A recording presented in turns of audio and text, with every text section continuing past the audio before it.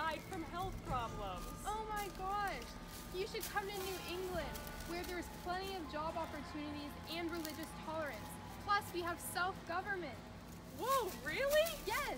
Let's one go. Fish, one fish, two fish, I fish, you fish in New England. It looks amazing here. It is. We should go over yonder to Massachusetts. Awesome.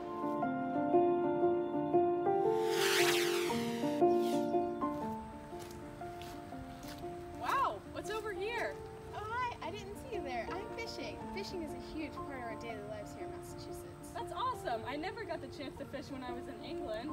Yeah, we fish a lot here because of our great coastlines, but if fishing isn't for you, there are a lot of other jobs here in New England. Like what? Come on, I'll show you.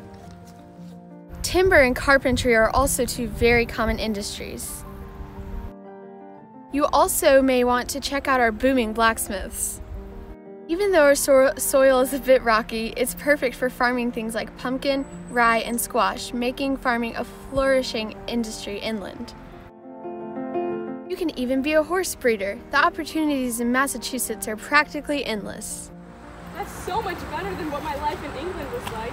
I never got the freedom to actually choose what job I wanted, but here it seems I'll never have to worry about money. You're right. There's a job here for practically everybody, no matter where your specialties lie.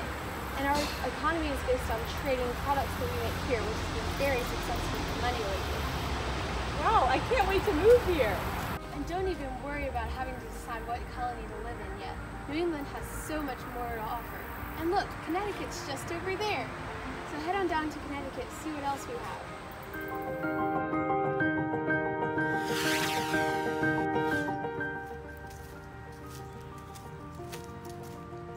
Ever seen anything like this before. What's happening? Where are all of the kings and popes to order people around? Why does everyone look so equal?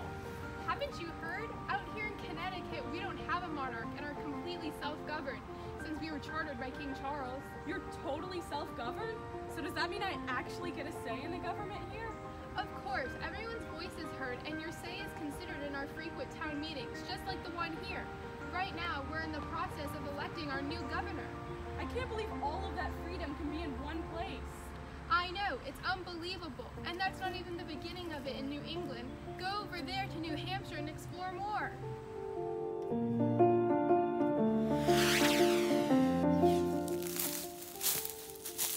Hi, welcome to New Hampshire. How may I help you? I'm new here and I'm still trying to find my way around. Well, if you're looking for a new place to live, this is definitely a place to be. Really? Tell me more. Come here. Are you tired of the same city life back home with those pesky neighbors? Yes. Well, New Hampshire is definitely the place for you. Here we've got beautiful coastlines, mountains, hills, valleys, name it, we got it. That sounds great and all, but is the weather as terrible as it is in England? Most definitely not. The summers are mild. And while the, winter gets a little bit chilly, diseases do not fester here, so you won't get sick like you would in England. Head on over there to Rhode Island.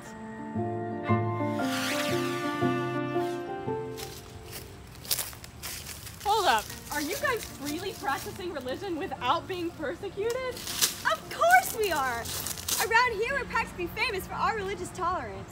Really? Back in England, if I even so much as said a word wrong during a prayer, I was tormented beyond belief. You don't have to worry about anything like that happening here.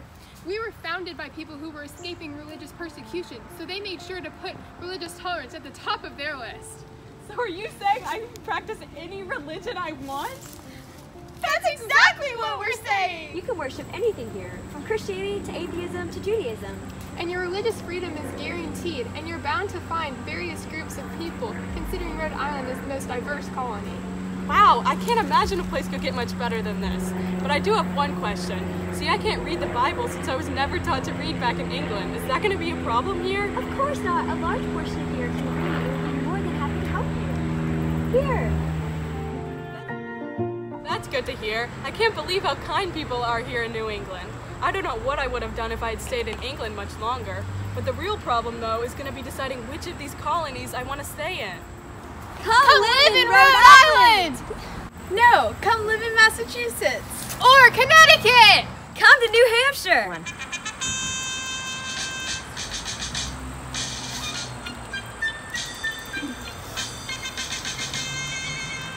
Pilgrims came to Massachusetts for religious freedom. God through Salem witch trials, and now they're never leaving. If you have a hopeful vision, come to Connecticut.